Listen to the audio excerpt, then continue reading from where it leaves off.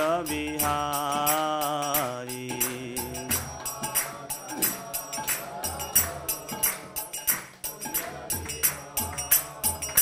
हरे कृष्ण हरे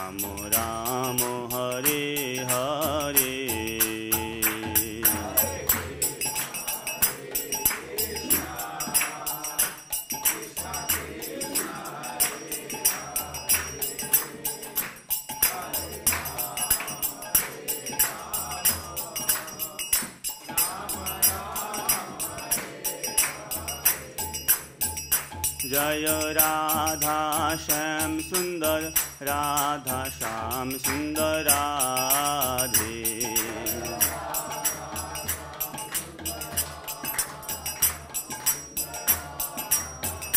जय ललित विशाखा, जय राधे श्याम। ललिता विशाखा, जय राधे श्याम।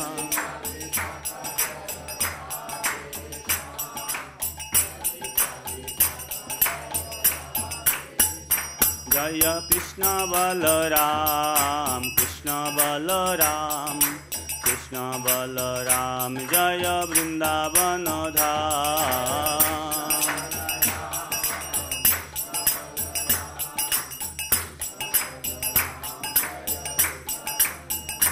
जय गौरानिताय गौरानिताय गौरानिताय जय गौरानिताय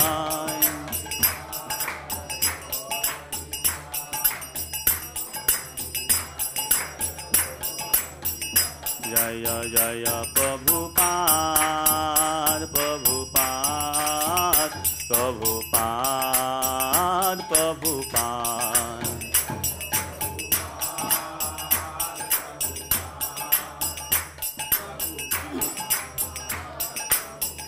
निताय गौर हरि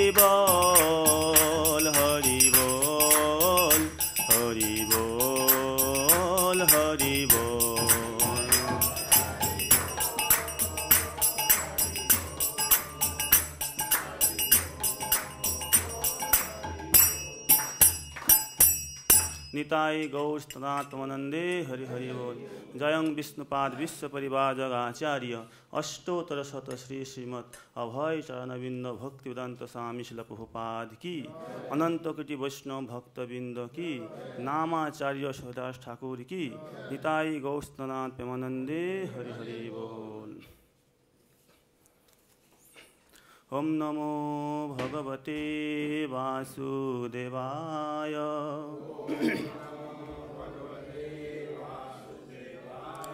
ॐ नमो भगवते वासुदेवाय।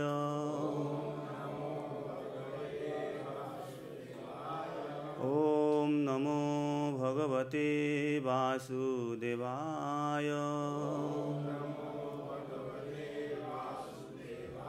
नारायणं नमस्कृत्य। नरं चैव नरोत्तमम्। देवीं सरस्वतीं वैश। ततो जयमुदीरये। नष्टप्रायेषु अभद्रेषु। नित्यं भागवतो सेवया। भगवतीरुत्तमश्लोके भक्तिर्भवति नैष्टकी। मूकं करोति वाचालं पङ्गुं लङ्घयते गिरिं। यत्किपातमहं वन्दे श्रीगुरुदिनतारिणं परमानन्दमाधवं श्रीचैतन्यैश्वरम् अज्ञाननिरधिर्पैति जया विशोषं भक्तिं परापि भजते परिपोषमुच्चै तत्तं परं स्फुरति दुर्गममप्रजस्रं साधुगुणभित्सरचितां प्रणमामि गीतम् हरे कृष्ण। लोग पाठ का श्रवण करेंगे, श्रीमद् गीता दूसरा अध्याय, गीता का सार, श्लोक संख्या ट्वेंटी फोर, चौबीस। अच्छेद्वयम् अधाय्ययम् अक्लेद्य शस्य एव च नित्यः सर्वगतः स्थाणु अचलोऽयं सनातनः अचेद्वयमदाय्ययम् अक्लेद्य शस्य एव च नित्यः सर्वगतः स्थाणु अचलोऽयं सनातनः। अचेद्वयमदाह्ययम् अक्लेद्यशस्य एव च। नित्यः सर्वगतः स्थाणु अचलयं सनातनः।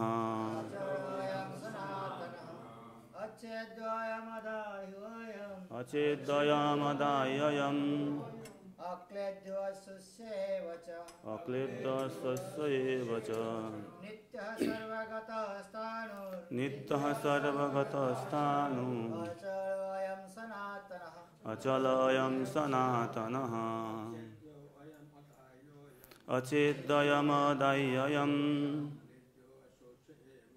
अक्लेद्यस्य एव च नित्यः सर्वगतस्थाणु अचलयं सनातनः। अचेद्वयमदाह्ययम् अक्लेद्यशस्य एव च नित्यः सर्वगतस्थाणु अचलयं सनातनः। अचेद्वयमदाह्ययम्। अक्लेद्यशस्य एव च। नित्यः सर्वगतस्थाणु अचलयं सनातनः। अचेद्वयमदाह्ययम् अक्लेद्यशस्य एव च। नित्यः सर्वगतस्थाणु अयं सनातनः। हरे कृष्ण। शब्दार्थ अचेद न टूटने वाला। अयम यह आत्मा। अदाह्य न जलाया जा सकने वाला। अयम यह आत्मा अक्लेद्य अघुलनशील, अस्वस्य, न सुखाया जा सकने वाला। एव निश्चय ही च तथा नित्य। शाश्वत। सर्वगत। सर्वव्यापी। स्थान। अपरिवर्तनीय। अविकारी। अचल। जड़ अयम। यह आत्मा। सनातन। सदैव शिला प्रभुपाद अनुवाद एवं तात्पर्य। जय शिला की। यह आत्मा अखंडित तथा अघोलनशील है। इसे न तो जलाया जा सकता है, न ही सुखाया जा सकता है। यह शाश्वत, सर्वव्यापी अविकारी, स्थिर तथा सदैव एक सा रहने वाला है। आप लोग कृपा कर दोहराइए। यह आत्मा अखंडित तथा अघोलनशील है। इसे न तो जलाया जा सकता है, न ही सुखाया जा सकता है। यह शाश्वत, सर्वव्यापी, अविकारी, स्थिर तथा सदैव एक सा रहने वाला है। तात्पर्य अनु आत्मा के इतने सारे गुण यह सिद्ध करते हैं कि आत्मा पूर्ण आत्मा के अनुअंश है और बिना किसी परिवर्तन के निरंतर उसी तरह बना रहता है। इस प्रसंग में अद्वैतवाद को व्यवहित करना कठिन है, क्योंकि अनु आत्मा कभी भी परम आत्मा के साथ मिलकर एक नहीं हो सकते। भौतिक कलम से मुक्त होकर अनुआत्मा भगवान के तेज की किरणों की आध्यात्मिक स्फुलंगी बनकर रहना चाहता है, रहना चाह सकता है। किंतु बुद्धिमान जीव तो भगवान की संगति करने के लिए वैकुंठ लोक में प्रवेश करता है। सर्वगत शब्द महत्वपूर्ण है, क्योंकि इसमें कोई संशय नहीं है कि जीव भगवान की समग्र सृष्टि में फैले हुए हैं। ये जल, स्थल, वायु, पृथ्वी के भीतर तथा अग्नि के भीतर रहते हैं। जो यह मानता है कि अग्नि में स्वाहा हो जाते हैं, वह ठीक नहीं है, क्योंकि यह कहा गया है कि आत्मा को अग्नि द्वारा जलाया नहीं जा सकता। अतः उसमें संदेह नहीं है कि सूर्योलोक में भी उपयुक्त तो प्राणी निवास करते हैं। यदि सूर्योलोक निर्जन हो तो सर्वगत शब्द निरर्थक हो जाता है। श्री प्रभुपाद की। हम ज्ञानतिमिरन्धस्य ज्ञानाञ्जनशलाकया चक्षुरुन्मीलितं तस्मै श्रीगुरवे नमः। श्रीचैतन्यमनोभीष्टं स्थापितं येन भूतले स्वयं रूप कदा मह्यं ददाति सपदान्तिकं वन्देऽहं श्रीगुरो, श्रीयुतपदकमलं श्रीगुरून् वैष्णवांस श्रीरूपं साग्रजातं सहगन रघुनाथन्नितं तं सजीवं सादयितं सावधूतं परिजनसहितं कृष्णचैतन्यदेवं। श्रीराधाकृष्णपादन् सहगन ललिता श्रीविशाखानितंश्च नमो विष्णुपादाय कृष्णपृष्ठाय भूतले। श्रीमते भक्तिवेदान्त स्वामिनीति नामिने। नमस्ते सरस्वती देवे, गौरवाणी प्रचारिणे, निर्विशेष निर्विशेषशून्यवादि पाश्चात्यदेशतारिणे नमो महावदन्नाय कृष्णप्रेमप्रदायते कृष्णाय कृष्णचैतन्य, नाम्ने गौरतिसे नमः।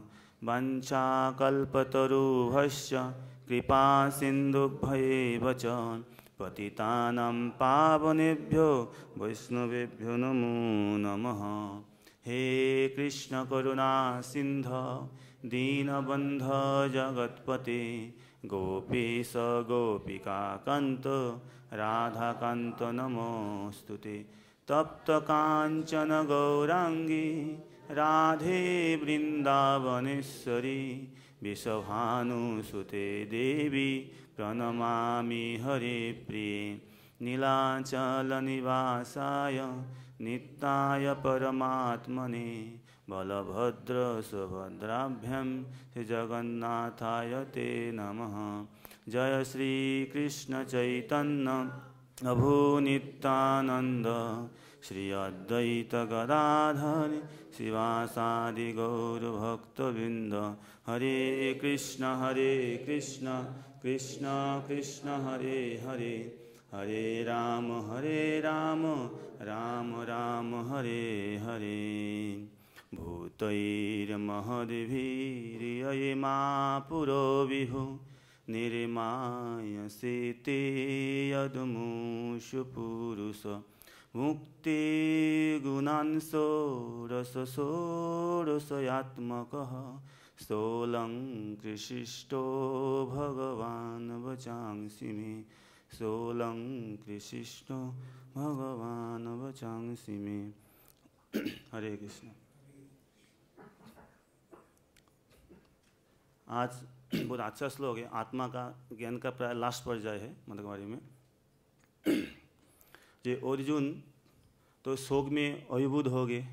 इस कारण से भगवान और अर्जुन का बीच में वार्तालाप चल रहे जब तक अर्जुन, मैंने श्री कृष्ण का स्वनगत नहीं हुआ, तब तक श्री कृष्ण ज्ञान देना चाह, प्रारंभ नहीं किए।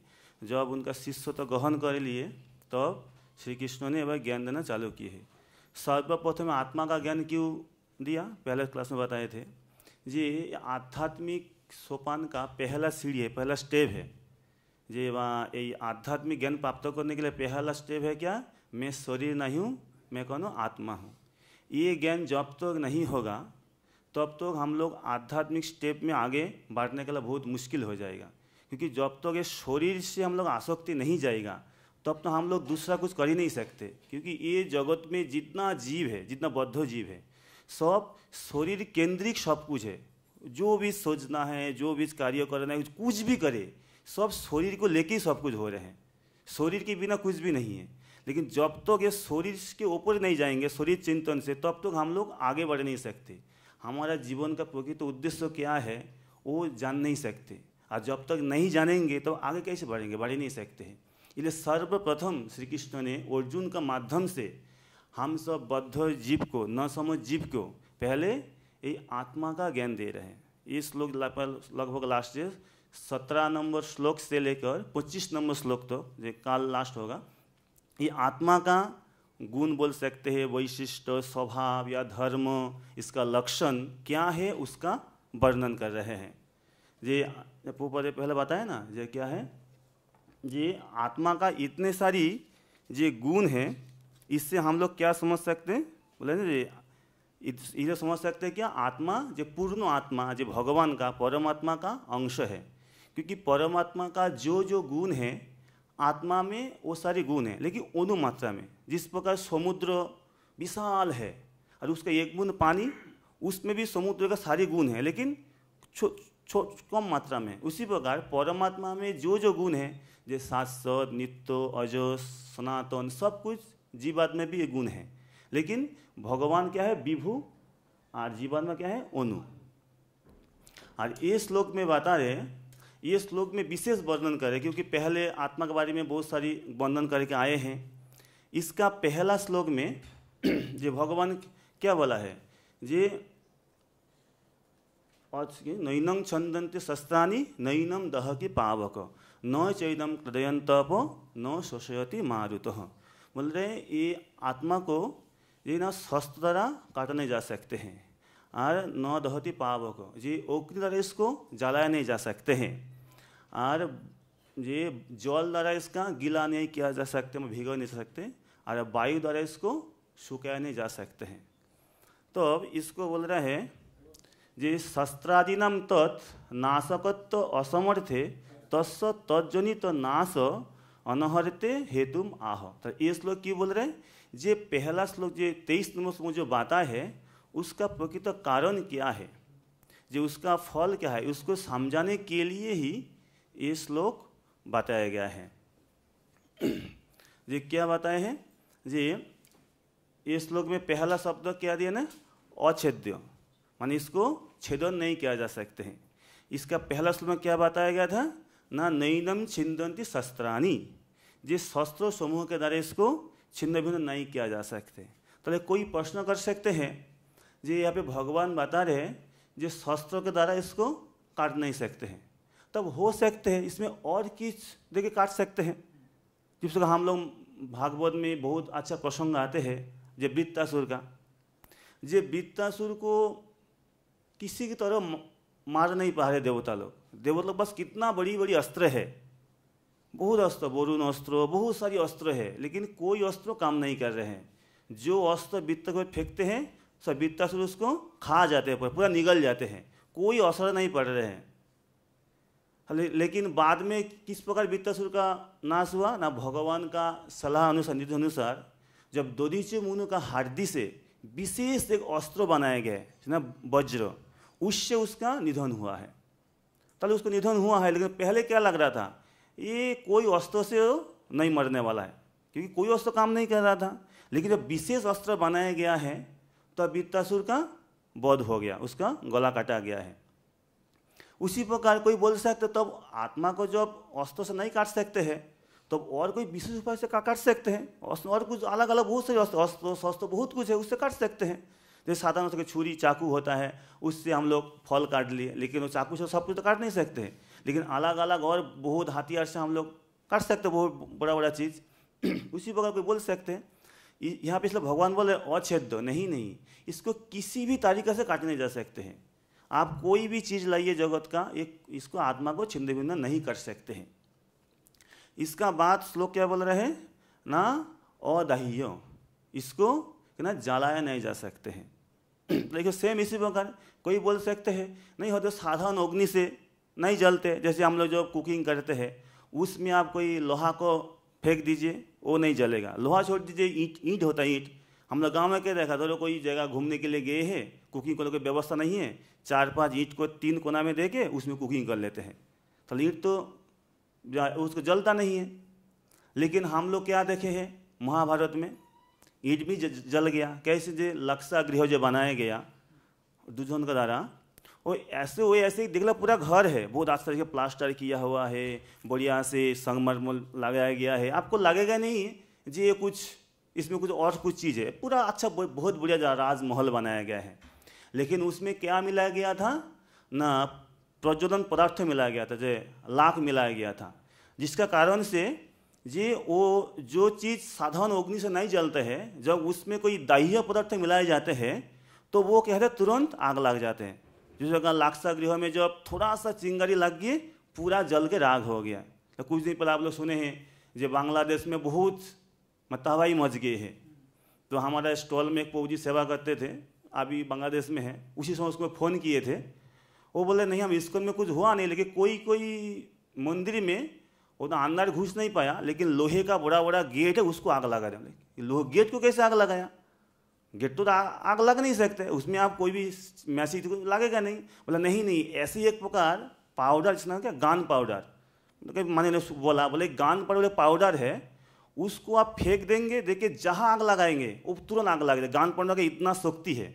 माने वो ऐसे ही एक पदार्थ तो है पाउडर टाइप का है, उसको आप जहाँ फेंक देंगे, देखने आपको मैचिस लगा देंगे, वो पूरा पूरा आग लग के भस्म हो जाएगा। उसी पाउडर का माध्यम से वो लोग इतना कुछ तबाही मचा दिया। वो पाउडर जहाँ फेंक देगा देखिए आग लगा देगा, जल जाएगा।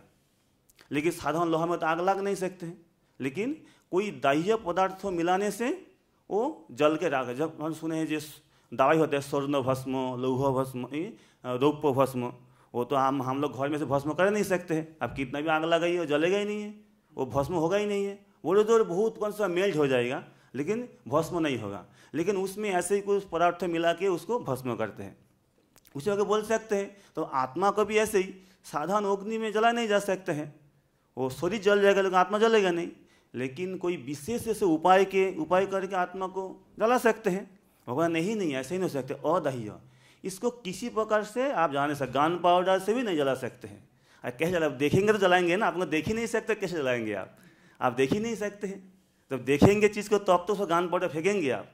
तो दिखाई नहीं दे रहा, कहाँ फेंकेंगे आप? मतलब अक्लेद्य इसको गिला नहीं किया जा सकते हैं।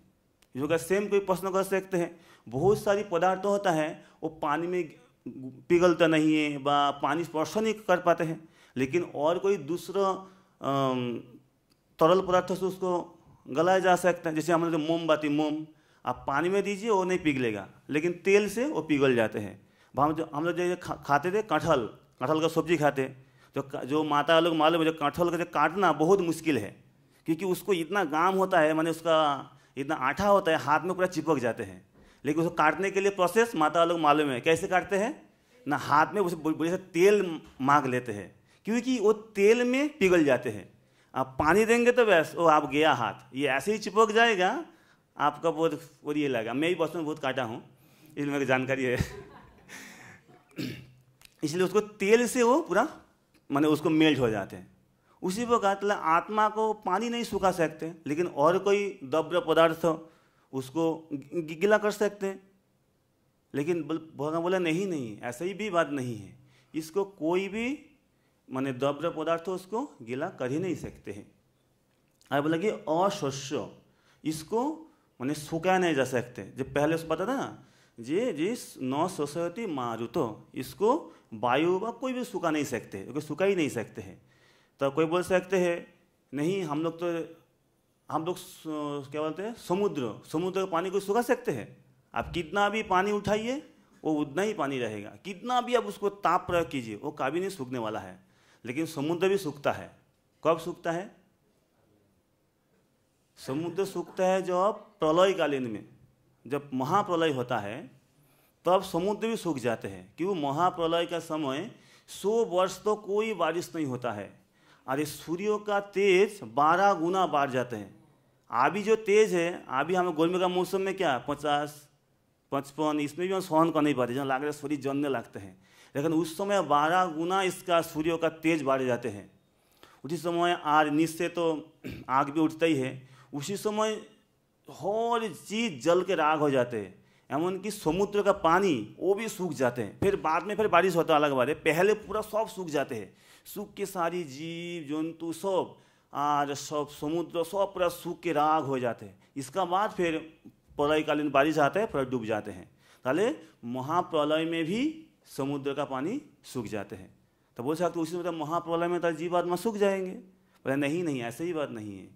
ये क्या बोल रहे हैं ना, ये नौ सोसाइटी इसको कोई सुखा नहीं सकते है। इसको सूख ही नहीं सकते है।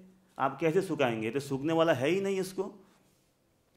ये ये क्या है? चले चार बताया एक्चुअली ये श्लोक विधि निषेध का माध्यम समझा रहे हैं। जब पहले नकारात्मक रूप रूप में जो सब पहले नौ, चार, माने नौ तत्पुरुष समाज से बोल रहे हैं कि अछेद दो, इसको नहीं छेड़ा छेड़ा जा सकते हैं। माने विपरीत रूप से बता रहे कि तो अदाही है, इसको नहीं जलाया जा सकते हैं। अक्लेद्य इसको सुखाया नहीं जा सकता है। अशस्य इसको अक्लेद्य इसको गिला नहीं कर सकते हैं। अशस्य इसको नहीं सुखा सकते हैं। ये पहले चार निषेध रूप में बताया नकारात्मक रूप में। और पाँच विधि रूप में बता रहे कि ना, सनातन नित्य, सर्वगत, स्थानु, और अचलो, और सनातन। ये पाँच। बोल रहे नित्य। ये आत्मा क्या है? ना, नित्य है। ये नित्य का मधुसूदन सरस्वती अच्छा बताते हैं। मतलब नित्य अयम पूर्व अपरकोटि रहित अतः अनुत्पाद। बताते जे, आत्मा जे है, ये पूर्व और उत्तर कोटि रहित। मतलब जो कोई भी चीज़, उसको उत्पत्ति व जन्म कब होता है? जब उसका ध्वंस होता है, उसका मृत्यु होता है, तब तो उसका जन्म होगा। जिसका मृत्यु नहीं, उसका जन्म कहाँ से होगा? ये आत्मा जो है क्या है नित्य है, माने हमेशा रहने वाला है इसको वृद्धि नहीं होता है। इसलिए जिस प्रकार ये शरीर का छह प्रकार का परिवर्तन होता है, जो जन्म होता है, वृद्धि होता है, वंश विस्तार होता है, फिर स्थिति होता है, फिर उसका क्षय होता है, बाद में विनाश हो जाते हैं। छह प्रकार शरीर का परिवर्तन होता है, लेकिन आत्मा का ये कुछ नहीं होता है। जैसे हम लोग, मैं जो आसाम में 2004 या पाँच में प्रचार कर रहा था, एक पहाड़ है, हम लोग कभी देखा जब पहाड़ बढ़ते हैं? लोग देखा नहीं ठीक से। लेकिन मैं जो गया था, वहाँ पे एक पहाड़ है, दो पत्थर है, उसका नाम दिया बुढ़ा बुढ़ी बंगाली भाषा में की आसाम में। मतलब बुढ़ा बुढ़ी नाम क्यों दिया इसको? बोला, ये पहाड़ जब दो पत्थर, में भी देखा, एक ऐसे दो पत्थर है। दो पत्थर है, लेकिन वो बढ़ते है। हर साल आपको थोड़ा सा बढ़ जाता है। बोला, पहले बहुत छोटा था, अभी बहुत ऊँचा हो गया। अभी तो और जैसा लाग, ज़्यादा ऊँचा हो गया। चार पाँच का बात बोल रहे उस समय। बहुत बढ़ गए काफ़ी उसका मोटा मोटा तो पाथर है, इसलिए उसका नाम दिया बूढ़ा बूढ़ी सब लोग जाके, गाँव का लोग कोई कुछ समय एक पूजा भी करते हैं उसको, क्योंकि गाँव में तो कुछ आश्चर्य देखने से उसको माता लोग जाके पूजा करते हैं, उसको कुछ करते हैं। वहाँ पे वैसे बांटते हैं। इसलिए कि वो फिर जीवंत तो पहाड़ पहाड़ दो कहते एक है मृत पहाड़, एक जीवंत तो पहाड़। जे पहाड़ में कोई की पहाड़ में देखेंगे, माने कोई भी पेड़ नहीं है। बहुत छोटी छोटी दो चार घास होता है जब बारिश में, कोई पेड़ पौधा नहीं होता, उसको मृत पहाड़। और जीवंत पहाड़ में सब बड़ी बड़ी पेड़ होता है उसको जीवंत पहाड़ बोलते हैं। उसको प्राण है पहाड़ में। और वो पहाड़ में तो जो पाथर है वो पूरा जीवंत वो दिखता है पूरा पूरा बाढ़ रहा है। मैं भी देखा, बहुत काफ़ी बाढ़ गए बोला बहुत नीचा था बाढ़ गए। इस प्रकार क्या ये भौतिक चीज़ को जो जीवंत है वो बढ़ते रहते हैं। ना? शरीर का आत्मा, शरीर का बढ़ता है लेकिन आत्मा का कोई परिवर्तन नहीं होता है। भगवान पहले ही बाता है, जिस प्रकार क्या बोलते हैं, हम लोग वस्त्र हमेशा परिवर्तन करते रहते हैं।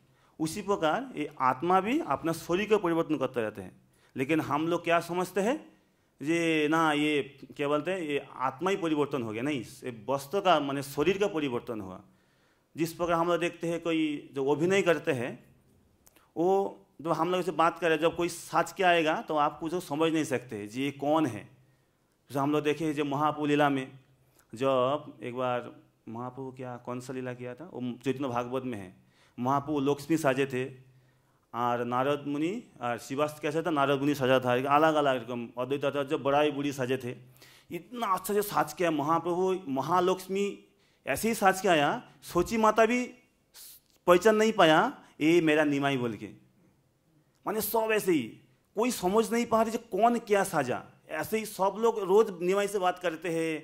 अद्वैत आचार्य से बात करते हैं लेकिन ऐसे ही अच्छा अच्छे भगवान का पार्षद वो लोग जो साजेगा तो हम लोग का तरह से पेंट तो करेगा वो लोग ऐसे पूरा अपना हिसाब से सज जाएगा ऐसे ही महाप्रभु पूरा लक्ष्मी सजा है अद्वैत आचार्य बड़ाई उड़ी और नारद शिवाष्टक नारद में ऐसे ही साज के कोई समझ में नहीं आ रहे जब अपना पहचान दे रहे स्टेज में तब तो समझ में आ रहा अरे ये तो मेरा शिवास है ये तो निमाई है तब तो समझ बोला अरे हम लोग समझ नहीं पा रहे सोची माता बोला वाह मेरा लड़का को मैं समझ नहीं पाया क्योंकि जब अपना रूप बदल लेते हैं, कोई समझ नहीं पाते हैं।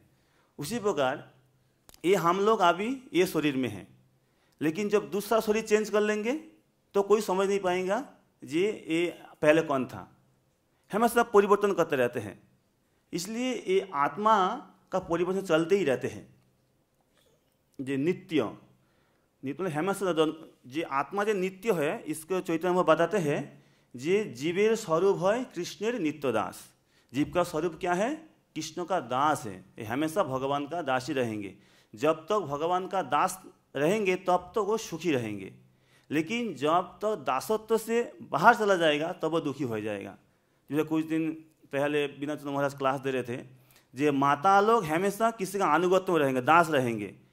वो बचपन में पिता माता का अंडा में रहेंगे। जब शादी हो जाएगा आपका स्वामी के अंडर में, आज जब बुढ़ा हो जाएगा तो सयाना पुत्र के अंडर में। जब तक रहेगा तब तक तो वो सुखी है। उन्हें कोई चिंता नहीं है, सुखी है। लेकिन जब स्वतंत्र होना चाहेगा तो उतना कितना दुख है, आपने को खुद झेलना होगा। उसी प्रकार जब ये छोटा बच्चा, जब तक तो पिता माता का साथ है, तब तो कोई टेंशन नहीं है। क्या आलू का भाव कितना उसको कुछ जान के नहीं। क्योंकि पिता माता पिताजी लाएँगे, माता कुकिंग करेंगे, बच्चा खाएगा, कोई टेंशन नहीं है। लेकिन जब खुद जब अलग हो जाएँगे, नहीं नहीं, क्या है, मैं स्वतंत्र हो जाऊँगा। तब तो उसका, वो क्या होगा, खुद को सब लाना होगा। तब तो समाज में आएगा जो कितना कठिनाई है। उसी प्रकार जीवात्मा, जब तक तो भगवान का दास में रहेंगे, भगवान का सदंगत रहेंगे तो उसे कोई टेंशन नहीं है। क्योंकि हम लोग चिंतन करेंगे, भगवान हमारा चिंता करेंगे। हम लोग को चिंतन करना है। हम लोग हम लोग क्या, हम लोग चिंता करते हैं। बोलते हैं, ये आदमी बहुत चिंता करते हैं। चिंता नहीं करना है हम लोग को, चिंतन करना है। चिंता करेंगे भगवान, और हम लोग क्या करेंगे? चिंतन करेंगे। लेकिन हम लोग उल्टा कर लेते, हम लोग चिंता करने लगते तो ठीक है, तुम चिंता करो, हमारा क्या है? तुम तो करना चाहते तो मेरा ही तुम जब कार्य करना चाहते तो करो। लेकिन भगवान का कार्य कोई नहीं कर सकते हैं। इसलिए जगत का सृष्टि का भार किसको दिया है? ब्रह्मा जी को। और संहार का भाव किसको दिया है? शिव जी को। लेकिन पालन करने का भार किसी को नहीं दिया है, क्योंकि ये बहुत कठिन है। कोई चीज़ मेंटेन करना इतना आसान बात नहीं है। तो भगवान खुद अपना कंट में रखा है? बोले, किसी का बस का नहीं है। क्योंकि जगत को मेंटेन करना, जीव को मेंटेन करना एक कोई आसान बात नहीं है। उसी प्रकार हम लोग अपना जीवन को, खुद को सुचारू रूप से मेंटेन करना आसान बात नहीं है। लेकिन हम लोग जो किसी का सहारा में रहेंगे, बहुत आसान हो जाते हैं। जिस प्रकार कोई लड़का जब पैतृक संपत्ति मिल जाते हैं उसका बहुत आसान है ज़िंदगी आज से बिताने का। लेकिन जो खुद अलग होके करना चाहते हैं बहुत कुछ नहीं करना पड़ता। ओवर ड्यूटी करके, बहुत कुछ करके, मेहनत करके थोड़ा बहुत ऊपर उठ सकते हैं, लेकिन आसानी से कर नहीं सकते हैं। लेकिन उसी प्रकार जीव जब भगवान का दास में रहेंगे, क्योंकि जब कोई पिता का सारी संपत्ति पुत्र का है, उसी प्रकार ये जगत किसका है? भगवान का ही है। ईसा अवस्तम इदम सर्वम ये सब कुछ के भगवान का कंट्रोल में है, भगवान का नियंत्रण में है। जब हम लोग भगवान का शरणागत हो जाएँगे, तब क्या होगा? सब कुछ अपना ही है। जैसे हम लोग के भक्त लोग का भी कोई दुख में नहीं है। लेकिन हमेशा ये ये ब्रह्मांड में सबसे अच्छा स्टार्ट पर में कौन रहते हैं? इसकन भक्त। इसलिए सब लोग जलते हैं। ये लोग देखो कितना अच्छा से घूमते हैं, बढ़िया से। हम लोग को देख के लोग समझ जाते जब बाहर प्रचार में जाता हूँ तो देख के समझ जाते कहाँ से आए हैं। वो जब इसको नहीं हैं हरे कृष्ण हरे कृष्ण, आइए आइए आइए। क्योंकि हम लोग का चलन बलन रहन सहन देख के लोग समझ जाते हैं।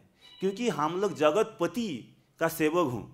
जैसे वो कोई राजा का नगर होता है, वो राजा का तरह ही ठाट में रहते हैं। वो ऐसे ही नहीं, जो फाटा कपड़ा बन के नहीं रहेगा। उसको राजा घुसेंगे देगा घर में। राजा के अपमान होगा। इस प्रकार हम लोग ये जगतपति का जब भक्त बनेंगे सेवक बनेंगे हम लोग भी जगतपति का तरह ही हम लोग का ऐश्वर्य ख्यास जाति सब मैंने ख्याति फैल जाएगा। जब तक हम लोग कृष्ण भावनाविद में जुड़े हुए हैं तब तक यही जीवात्मा का कितना प्रशंसा है। सब लोग प्रणाम करेगा सैल्यूट मारेगा सब लोग दक्षिणा देगा बुलाएगा प्रभु जी आइए आइए हमारे घर में आइए क्यों नहीं इतना दिन तक आए, आए हैं? कितना सम्मान करेगा ये जीवात्मा को? लेकिन जब ये जीवात्मा कृष्ण भावनामित से वंचित हो जाएगा, जब कृष्ण भावना से बाहर हो जाएगा, कोई पूछेगा? कोई पूछेगा ही नहीं कितना दुनिया में कितना जीव है, कितना जीवात्मा है? हम लोग कितना जीवात्मा दोस्ती बनाना चाहते हैं? नहीं है। जो कृष्णा भावनामित में है, उसको सब लोग सम्मान करते हैं। सब लोग एमन की सर्व को देवता लोग भी सम्मान करते जैसे भागवत क्लास में कहाँ चल रहे खटवांगा महाराज का चल रहे तो खटवांगा महाराज जब ये जगत से मुक्त होके जा रहे थे जहाँ जहाँ से गुजर रहे हैं, वहाँ वहाँ से सब देवता लोग आरती का प्लेट लेके आ रहे हैं। जब स्वर्ग स्वर्गलोक में गई, सब स्वर्ग देवता लोग आया। जब ब्रह्म- ब्रह्मलोक में गया स्वयं ब्रह्मा जी में, ब्रह्मा जी आरती का प्लेट लेके आ गए। क्योंकि जीवात्मा एक जीवात्मा शाश्वत रूप से, चिरंतन रूप से भगवान का नित्य सेवा में युक्त हो रहे हैं। इसलिए जीवात्मा का कितना सम्मान है।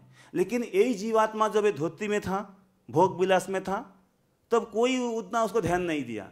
ब्रह्मा जी घूम के देखा भी नहीं है ये खटवांग महाराज कौन है? लेकिन जब वो जब भगवत धाम जाने लगा, तब उसको सब लोग आरती उतार रहे क्यों? ना, वो जीवात्मा भगवान का साथ शाश्वत रूप में जुड़ गए हैं। लेकिन ये कृष्ण भावनी इतना एक, माने रसमय है, इसमें जुड़ने से मात्र ही आप सुख से भर जाएँगे। सुसुखम कुर्तुम अव्यम एक करने का समय ही सुख है। इसमें कोई ये पूरा कंप्लीट ऐसे ही बात नहीं है। आप जब से कृष्ण भावनामित में आए हैं तब से आपका सुख ही सुख है। मेरा पहला दिन याद है। मैं 2004 पच्चीस अगस्त, झूलन का पहला दिन जब इस्कन में आए थे, आने के साथ साथ ही जो लागरा में क्या बोलते हैं बैकुंठ लोग पहुँच गए हैं। जी, इतना मैंने मायापुर में कितना भक्त है। आज झूलन का पहला दिन, मैं तो कभी इसको मुझे देखा ही नहीं जब पहले बार आया। उसी समय झूलन मंदिर में अंदर होता था, राधा माधव का सामने। जो बड़ा सा है वो होता अभी तो गुरुकुल में इधर उधर गौशाला में होता है पहले मंदिर में होता था झूलन। इसलिए मंदिर का सामने बहुत बड़ा से सजाया गया है बहुत सारी आ, मैं तो देख के अबाक हो गया कभी देखा ही नहीं। झूलन क्या हाथ है? हैं गाँव में थोड़ा बहुत भक्त लोग करते हैं लेकिन इसकोन का झूलन पूरा अलग सही है। इस्कॉन को देख के आप सब सारी विषय फॉलो कर रहे हैं। लेकिन पहले इतना आश्चर्य कहाँ होता था? पूरी में इधर उधर थोड़ा बहुत होते थे लेकिन सारा विश्व में इतना नहीं होता था। इसलिए जब कृष्ण भावनामृत में आने से ही जीव के माने पूरा सारी, माने खुशी खुशहाली में भर जाते हैं। ये सब जीव सुख का संधान चाहते हैं हमेशा। कोई भी एक चीटी तक भी, जो भी कुछ करते, किस लिए करते? सुख के लिए, सुख के तलाश में ही करते हैं। जी, मैं ये कर लूँगा, सुख हो जाऊँगा। वो चीज़ कर लूँगा, सुख हो जाऊँगा। ये चीज़ प्राप्त कर लूँगा, सुख हो जाऊँगा। लेकिन यदि हम लोग सुख हो जाता, सुखी हो जाता, है, तब और दूसरा चीज़ का हम लोग तलाश नहीं करता। सुखी नहीं हो पा रहा हो इसलिए तो तलाश कर रहा हूँ। जब तक हम लोग भगवान का चरण में शरण नहीं हुआ, तब तक हम लोग खुशी हो नहीं सकते। हम लोग तो आ गए हैं, लेकिन शत प्रतिशत अभी तो स्वर्णगत तो हो नहीं पाया। इसलिए हम लोग का पूर्ण शांति मिल नहीं रहे। जब तक तो हम लोग भगवान का नाम जप करते हैं, जब तो गीता भागवत श्रवण करते हैं, पढ़ते हैं, जब हम भगवान का सामने खड़ा होते हैं, तब तो हमें कितना सुख मिलता है। जब लाग रहे दुनिया में सब कुछ भूल जाते हैं। लेकिन जब हम लोग भगवान से अलग हो जाते हैं व भगवान को भूल जाते उसमें सारी दुख हम लोग जकड़ लेते हैं। तो कोई बहुत सारे भक्त बोलते हैं, जी, हम लोग का जॉब का समय नींद क्यों आते हैं? आप लोग ध्यान से सोचे नींद क्यों आते हैं? ना, नींद आने का कारण जॉब हम लोग का मन भगवान से हट जाते हैं। आप लोग ज़रूर सब लोग फॉलो किए होंगे। जे जब को तो नींद आ रहे मन और कुछ सोच रहा हो। इसलिए हम लोग यहाँ से भगवान का चरण से हट के मन भौतिक दुनिया में चला गया है। जब करते सोच रहा अरे, मेरे को वह करना था। तो बाजू वाले भक्त तो समझ रहे हैं। मैं समझ नहीं मैं समझ रहा हूँ, मैं जब कर ही रहा हूँ। लेकिन मैं जब रुक गया, बा उल्टा सीधा, राम राम, कृष्ण कृष्ण, हरे हरे, हड्डी हड्डी, ऐसे हो रहा है। मेरा समझ में नहीं आ रहे क्योंकि मैं तो सोच रहा और कुछ चीज़ है। लेकिन बाजू वाले भक्त तो समझ रहे हैं, जी, अरे, क्या कर रहे हैं? इतना साल का भक्त है कि हड्डे, राम, कृष्ण कृष्ण, क्या कर रहे हैं? वह पूरा सोलह सौ बत्तीस हम कर ही नहीं रहे। मतलब क्या? जी, उसका ना, मन भगवान चरण से हट गया है। आज जब और ज़्यादा हट जाते हैं तो हम लोग को नींद आ जाते हैं। माने कि हम लोग वो और कुछ चीज़ सोचता हूँ। सो, मन में सोच रहा हूँ जो मैं जब कर रहा हूँ, लेकिन हम लोग और भौतिक चीज़ में, माया का जगत में चला गया है। इसलिए हम लोग जब माया का जगत में चले जाते हैं तो अब हम लोग का दुख में दुख भर जाते हैं, अंधकार में चले जाते हैं। लेकिन जब भगवान का शरण में जब तक रहते हैं, इसलिए तब तब तक हम लोग सुखी रहते हैं। इसलिए पोहबात क्या नाम दे संस्था का नाम? ये कृष्ण भावनामृत संघ चौबीस घंटा किस प्रकार हम लोग कृष्ण भावनामृत में बने रह पाते इसलिए सब कुछ पोहपात सिस्टम बना दिया माने नींद से उठ के फिर सोने तक जो कि पहुपात का रूल्स फॉलो करेगा उसका एक मिनट एक मिनट का एक सेकेंड उसका मौन बाहर जाने का सवाल ही नहीं है लेकिन हम लोग फॉलो कहाँ कर पाते हैं फॉलो भी करते उसका अंदर भी हम लोग और कुछ चीज़ सोच लेते हैं लेकिन जब हम लोग जब स्कूल में जो कोई एग्ज़ाम देते हैं जो जो भक्तों बहुत सौ में सौ मार्क्स ले, लाते हैं, वो लोग हमेशा उसमें मन लगा रखते हैं। जब एग्ज़ाम देते उस समय दूसरा कुछ सोचता ही नहीं है।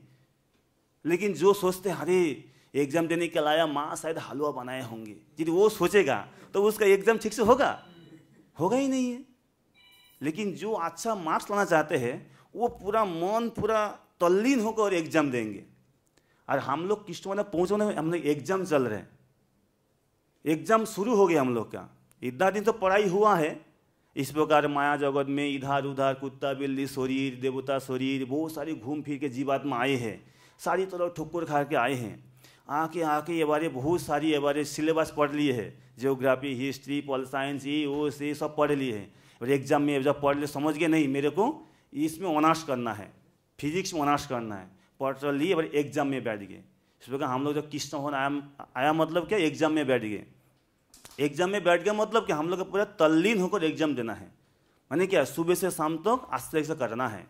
तो अब जीवात्मा का सफलता प्राप्त होगा। नहीं तो हो नहीं सकते। इसका बात देखिए बताइए, सर्व, सर्वगत हो। जीवात्मा का और एक गुण दिया क्या? सर्वगत हो। माने क्या सर्व, सब जगह जाने वाला है। मतलब ये हर शरीर ग्रहण करते हैं। जो चौरासी लाख जीव जनी हैं।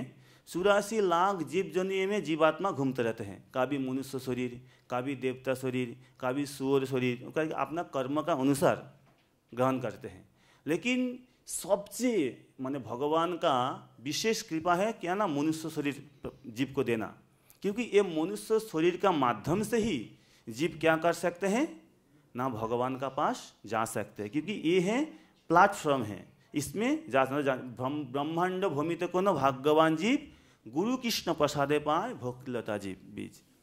वो जो जीवात्मा ब्रह्मांड भ्रमण करते करते जब गुरु कृष्ण प्रसाद में जब मनुष्य प्राप्त होगा, और भोक्तलता बीज प्राप्त हो जाएगा तो अब क्या है उसका? उसका बेड़ा पार होने वाला ही है। माने वो एग्ज़ाम में बैठने का लायक हो गया है। शुद्ध आपको आचार्य के एग्ज़ाम देना है। हम लोग का गुरु कृष्ण प्रसाद भुक्तलता बीज प्राप्त हो गया है। लेकिन इसके बाद क्या बोला? न सबन कीर्तन जले करो सेचन। भुक्तला बीज तो प्राप्त हो गए हैं। भाई उसको कैसे भुक्तला का बीज को कैसे अंकुरित करना है, कैसे लता को आगे बढ़ाना है, किस प्रकार? ना श्रवण कीर्तन जल में। जिस प्रकार पेड़ को जब पानी नहीं देंगे, वो सूख जाएगा। आपको समय समय पर पानी देना आवश्यक है। उसी प्रकार भोक्तलता बीज को माने ताज़ा रखने के लिए व उसको बाढ़ने के लिए, पुष्ट करने के लिए क्या देना पड़ेगा? श्रवण कीर्तन रूपी जल सिंचित करना पड़ेगा। माने हरिनाम कीर्तन करना पड़ेगा, श्रवण करना, भागवत गीता सुनना है व पढ़ना है पढ़ना है, इसको आपको करने से तो आपके इसी का माध्यम से भोक्तलता उत्तर तो बढ़ते जाएगा। लेकिन जो भक्त व जो जीवात्मा भुक्त में तो आगे हैं, लेकिन श्रवण कीर्तन ठीक से नहीं करते हैं, वो धीरे धीरे धीरे धीरे उसका भक्ति धीरे धीरे घटने लगते हैं, क्योंकि वो ये जगत मायामय जगत है। इसमें जीव फांसना आसान है, कोई इसका कोई बड़ी बात नहीं है, लेकिन इससे निकालना ये सबसे बड़ी बात है। बोलते किस होते नहीं आना, ये स्वाभाविक है, क्योंकि ये जगत ही ऐसे ही है कली युग है, मायामय जगत है, लेकिन जो कृष्ण भाव में आना, ये सबसे बड़ी बात है। और आने का बाद टिक के रहना, ये सबसे बड़ी बात है। जो जो भक्त मालूम है, जो 20 साल, पच्चीस साल इस्कन में है, किस भवनविद में है, कितना कठिनाई आते हैं, कितना तूफ़ान आते हैं, कितना झड़ आते हैं, कितना कुछ आते हैं, लेकिन उसमें टिक के रहना है। जो पेड़, कितना भी तूफ़ान आ जाए, जो टिक के रहेगा, वही समय पर फल फूल प्रदान करेगा, सब कुछ हो जाएगा। लेकिन जो थोड़ा सा झड़ में हवा का झोंकोर आएगा, वो गिर जाएगा, क्या होगा? क्योंकि नष्ट हो जाएगा। उसी प्रकार सब जगह में, बोलते प्रभु जी इस माने विश्व में बहुत कठिनाई कठिन है। तो मतलब भौतिक जगत में सुख है। जो कोई बोलते ये संस्था में बहुत दिक्कत है। ताले इसका मतलब घर में आप सुखी थे।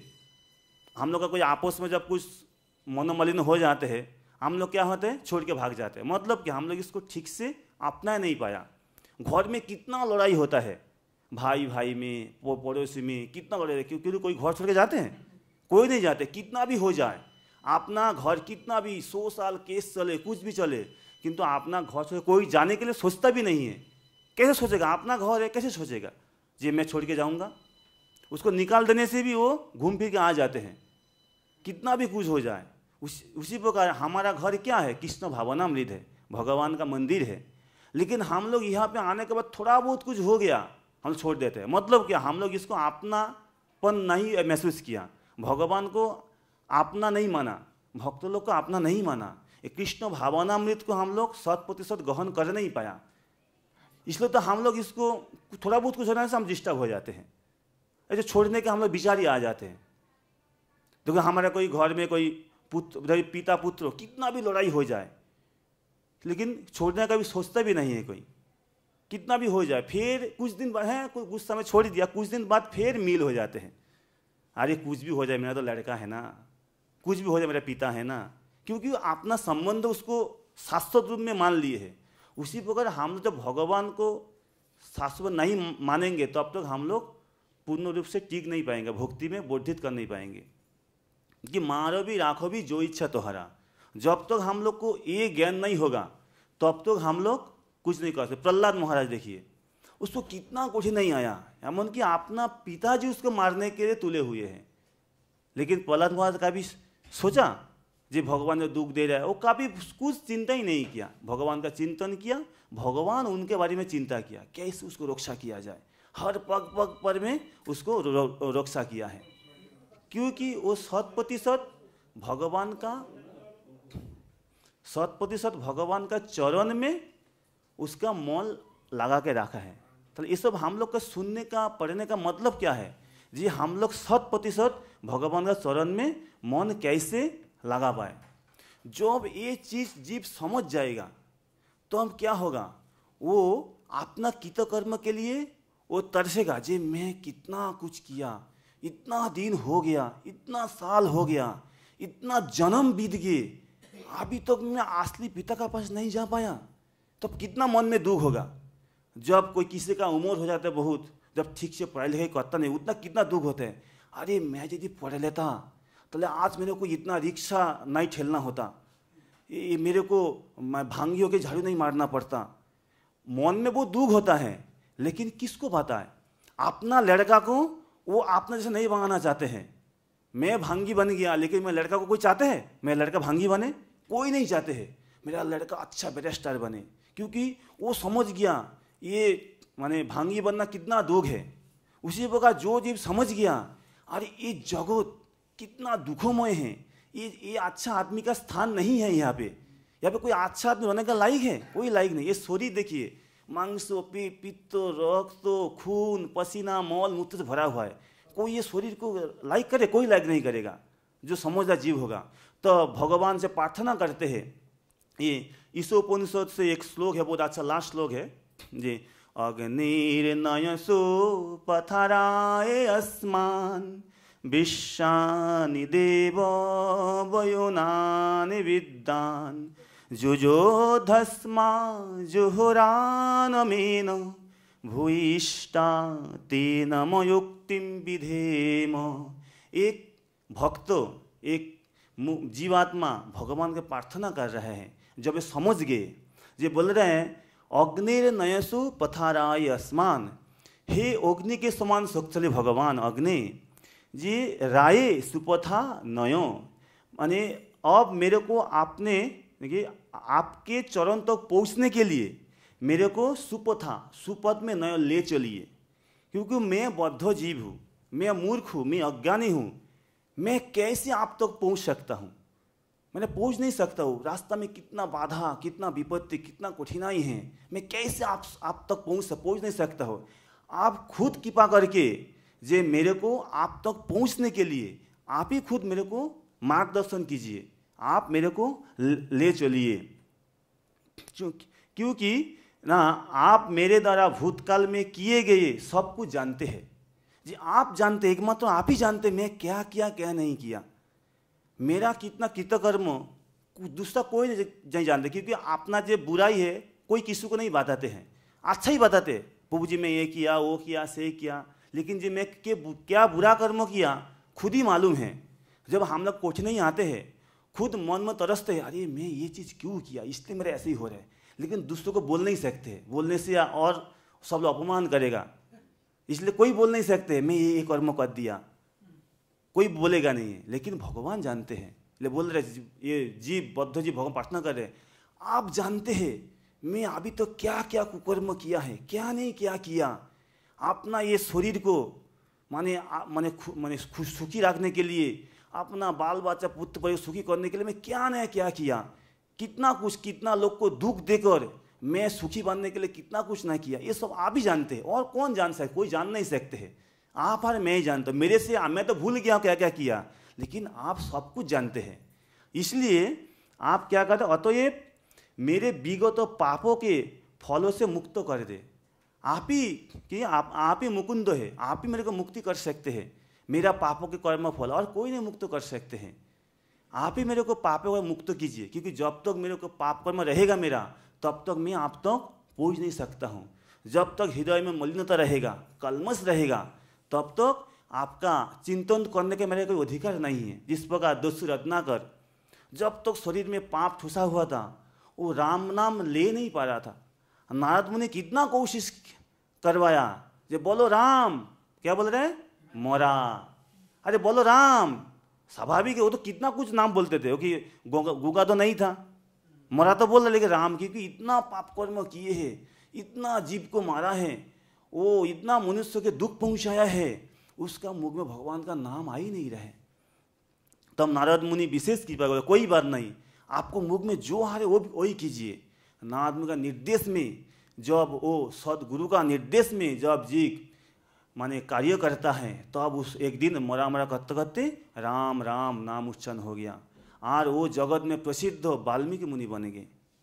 उसी प्रकार जब हम लोग भगवान का योजना से जो साधु गुरु का निर्देश में जब हम लोग अपना जीवन बिताएँगे, तब हम लोग भी क्या? ना भगवान का शरण में एकदम पहुँच सकते हैं। इसलिए मतलब कि मेरे प्रगति में कोई अवरोध ना। इसलिए जब भगवान सहायता करेंगे, जीव जब भगवान से प्रार्थना करेंगे तो हम लोग का सारी अवरोध काट जाएगा जा करके हम लोग भगवान चरण में पहुँच जाएगा। इसलिए हम लोग का तो कोई योग्यता नहीं है भगवान तो पहुँचने के लिए। इसलिए हम लोग प्रार्थना ही हम लोग सहारा है। इसलिए ये श्लोक का तरह हम लोग भी सुबह शाम जब ये श्लोक हम लोग भगवान से बोलेंगे, ये ईशोपनिषद का बिल्कुल लास्ट श्लोक अठारह नंबर श्लोक है, जो लोग भक्ति शास्त्री के लोग मालूम है ईश्वर लास्ट श्लोक ने से बताइए बहुत अच्छा श्लोक है, ये आप लोग घर में जाके पढ़िएगा, और रोज़ सुबह शाम इसको याद कीजिए, करने से आप लोग का माने भक्ति में और हम हम लोग उत्तर उत्तर बढ़ सकते हैं।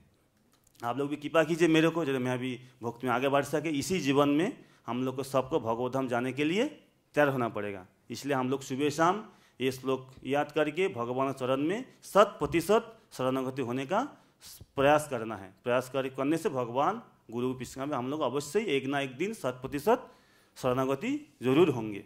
हरे कृष्ण। जय श्री प्रभुपाद की श्रीमद् भगवद गीता की, निताय गोपनंदे हरि हरि बोल।